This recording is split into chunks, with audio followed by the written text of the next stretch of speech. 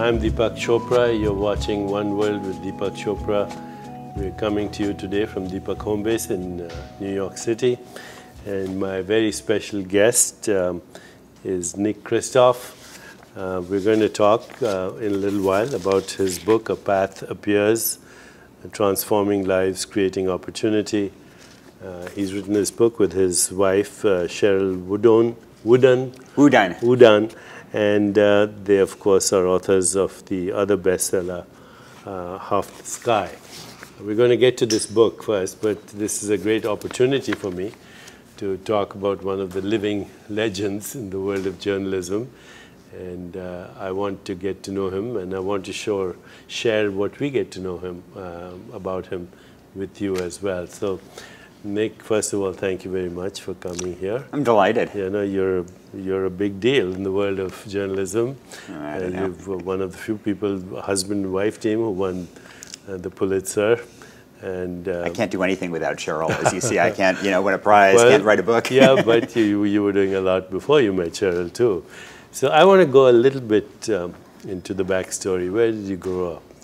So I grew up on a farm out in Oregon, uh, a, uh sheep and cherry farm out in the out at the very edge of the Willamette Valley in Oregon, and um, uh, it was really a, kind of a wonderful uh, childhood. And uh, I began writing for a local uh, newspaper there as soon as I turned 16 and got my driver's license.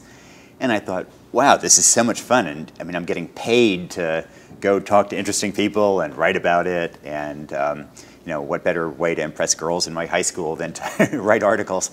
So it, um, it was just, a, it really, you know, got me addicted to journalism. And Very uh, early on.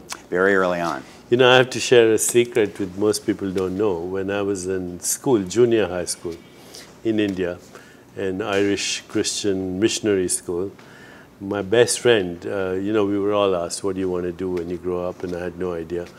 Uh, his name was Opu, he was from Assam, and he was the best writer in the class, and he wanted to be a journalist. So I grew up inspired by him. And my dad was a physician, and he always wanted to me to be a physician. So um, I didn't want to do that. I wanted to go into journalism. At the age of 14, my father gave me all these books uh, where the writers were all physicians. You know, Somerset. Maugham, etc., etc. Uh, Sinclair Lewis, all about Right. physicians. So I got You got diverted. I got diverted. Well. But now I do medical-based writing. It has a better business model than journalism these days. Oh, so. well, you're doing very well, sir. So then you you were actually also editing the Harvard Crimson, right? Yeah, um, I was so from my uh, farm in Oregon.